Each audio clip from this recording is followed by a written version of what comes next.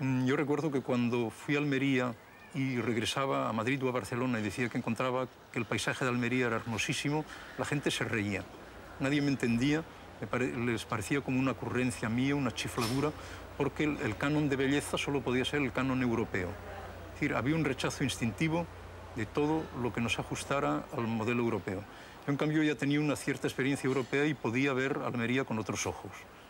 Y la verdad es que desde el primer momento fue un, un deslumbramiento.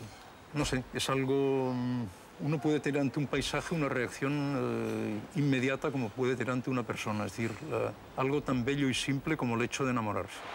Eh, la llegada aquí mm, eh, provocó en mí un sentimiento de, mm, digamos, de, de gran seducción ante el habla almeriense. Ante el- hay una peculiaridad en el acento de Almería que me sigue conmoviendo mucho. Hay determinadas personas que podría estar horas escuchándoles eh, independientemente de lo que digan. Es el, me gusta el habla, me gusta el habla, me gusta el acento.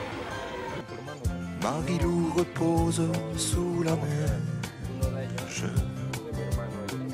Et je me dis, je me redis de tous ces dessins d'enfants que je pus préserver la fraîcheur de l'île.